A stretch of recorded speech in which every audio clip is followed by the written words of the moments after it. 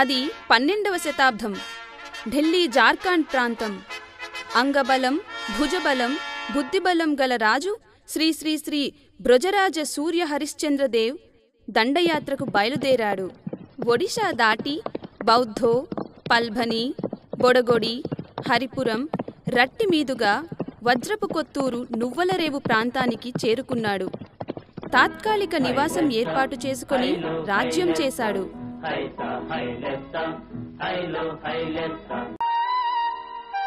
దీనికి గుర్తుగా ఇచ్చట ఎత్తైన స్తూపం నిర్మించాడు. నేటికి ఈ స్తూపం నిలిచి ఉన్నది. వేటాడుతూ రాజు ఒకరోజు క్రీకారణ్యమైన తర్లాకోట ప్రాంతానికి చేరుకున్నాడు. రాజుకు అక్కడ ఒక అద్భుత దృశ్యం గోచరించింది. అక్కడ కుందేళ్ళు నక్కను తరుముతున్నాయి. ఈ ప్రదేశంలో ఏదో మహత్తున్నదని భావించాడు రాజు. ఆ ప్రదేశం చుట్టుప్రక్కల ఎత్తైన కొండలతో ఒక్క ప్రక్క మాత్రమే లోనికి రావడానికి మార్గం ఉన్నది. ఇది రాజనగరకు గొప్ప రక్షణగా ఉంటుందని భావించాడు. మంత్రులతో ఆలోచించి అద్భుతమైన శత్రు దుర్భేద్యమైన రాజకోట నిర్మించాడు.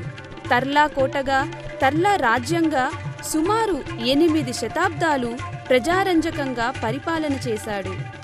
పరమభక్తులైన ఈ సూర్యవంశరాజులు తమ రాజకోటకు ఆనుకొనే జగన్నాథ మందిరం నిర్మించారు. సుప్రసిద్ధమైన పూరీ క్షేత్రంలో జగన్నాథాలయం నిర్మించిన శతాబ్దంలోనే ఈ ఆలయం నిర్మించారని అంటారు. ఈ ఆలయం నిర్మించడానికి ఒడిషా నుండి ప్రముఖ శిల్పులను రప్పించారు. ఇక్కడకు మూడు వందల కిలోమీటర్ల దూరంలో గల కుర్దా ప్రాంతం నుండి నాటు బండ్లపై శిలలను తెప్పించారు.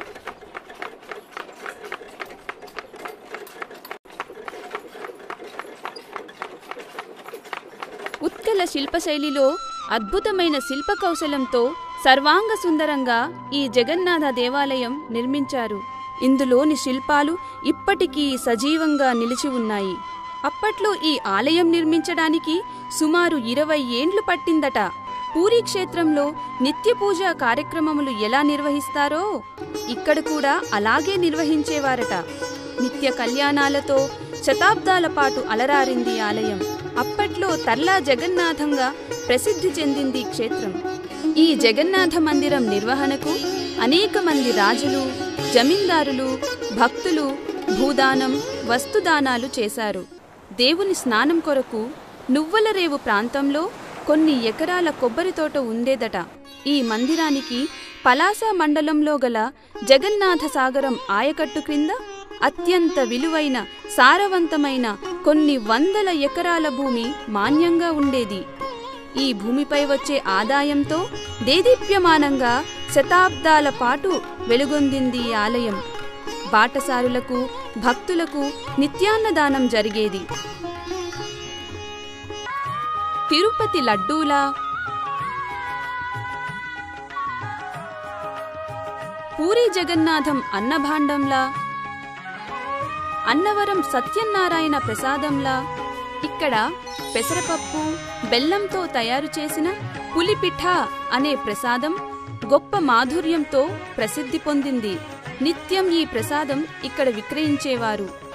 ఆషాఢమాసం విదియ రోజు రథయాత్ర అత్యంత వైభవంగా జరిగేది. అప్పట్లో ఈ జిల్లాల్లో జరిగే పెద్ద జాతర ఇదే.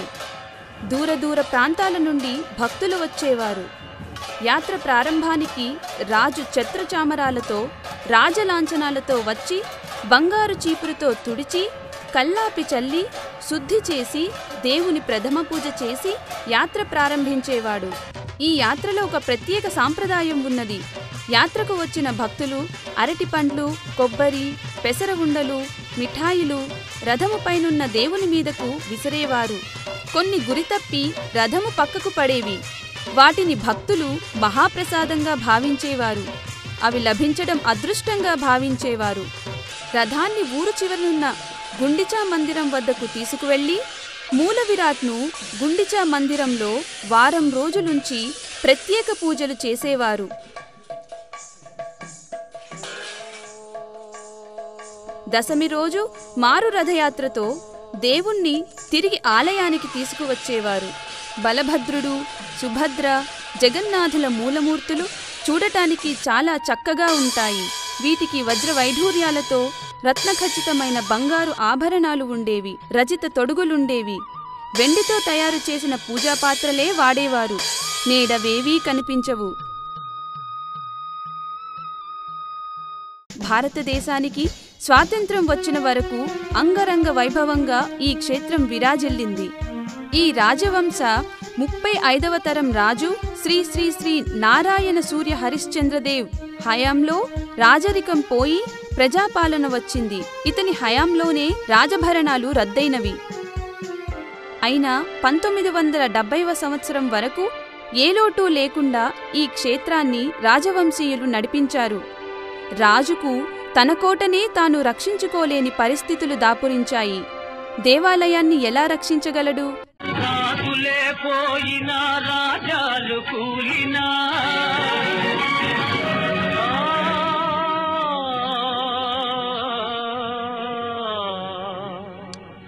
చెదరని కదలని శిల్పాల వలెనే. అద్భుతమైన విదేశీ కళాఖండాలతో అలంకృతమై శతాబ్దాలు ఏలిన రాజకోట శిథిలావస్థకు చేరుకున్నది. నేడు శిథిలమైపోయింది. రాజకోట శిథిలమైన శిల్పాలతో నిర్మించిన జగన్నాథ మందిరం శిల్పాలు నాటి కళా సాంకేతిక నైపుణ్యాలకు సాంస్కృతిక వైభోగాలకు సాక్ష్యంగా చెక్కు చెదరకుండా నిలిచి ఉన్నవి. ఒడిశా గంజాం జిల్లాలో ఉండే ఈ ప్రాంతం తరువాత శ్రీకాకుళం జిల్లాలోకి వచ్చింది. బ్రిటిష్ వారి పాలనలోనే ఈ ఆలయానికి చెందిన విలువైన సంపదలన్నీ అన్యాక్రాంతమైనవి. ఈ దేవాలయానికి చెందిన కొన్ని ఆస్తులు ఒడిశాలో చాలా చోట్ల ఉండేవి. ఈ దేవాలయానికి చెందిన భూములన్నీ అన్యాక్రాంతమైనవి. మనులు మాణిక్యాలు విలువైన వస్తువులు అలా అలా పరాధీనమైనవి. దేవునికి కొన్నాళ్ళు ధూపదీప నైవేద్యాలు కరువైనవి. దేవాలయంపై పిచ్చి మొక్కలు మొలచి పాడుబడ్డ దేవాలయంలా తయారైంది. చుట్టూ ఉన్న ప్రహరీ కూలిపోయింది. పశువులు జంతువులు యథేచ్ఛగా సంచరించాయి. స్థానిక భక్తులు కొందరు ముందుకు వచ్చి దేవాలయంపై మొలచి ఉన్న పిచ్చి మొక్కలను తొలగించి సిమెంట్తో ప్లాస్టరింగ్ చేశారు. లోపల కొంతవరకు శుభ్రం చేశారు. నిత్య కళ్యాణంతో విరాజిల్లి మూతపడిన దశకు చేరుకున్న ఈ దేవాలయం నేడు ఒక్క పూట పూజా నైవేద్యాలతో కాలం వెళ్ళదీస్తున్నది. పదహారు చక్రాల రథంతో సాగిన రథయాత్ర నేడు మొక్కుబడిగా నాలుగు చక్రాల రథంతో సరిపుస్తున్నది.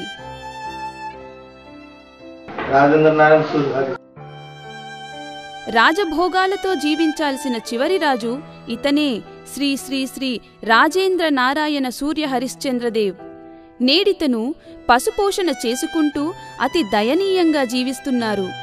విలువైన వందలాది ఎకరాల భూసంపద కలిగిన ఈ జగన్నాథ మందిరం నేడు అత్యంత దైన్య స్థితిలో ఎవరికీ పట్టకుండా పోవడం అత్యంత విచారకరం. శ్రీకాకుళం జిల్లా పలాస పట్టణానికి ఆనుకొని ఉన్న అద్భుతమైన శిల్పకళా శోభితమైన తర్లా జగన్నాథ క్షేత్రం కనీస ప్రచారానికి నోచుకోకపోవడం విచారించవలసిన విషయం. అన్యాక్రాంతమైన ఈ దేవాలయాల ఆస్తులను గుర్తించి సేకరణకు కృషి చేస్తే ఆ సంపదతో ఈ క్షేత్రాన్ని పూర్వవైభవానికి తీసుకురావడం ఏమంత కష్టం కాదు.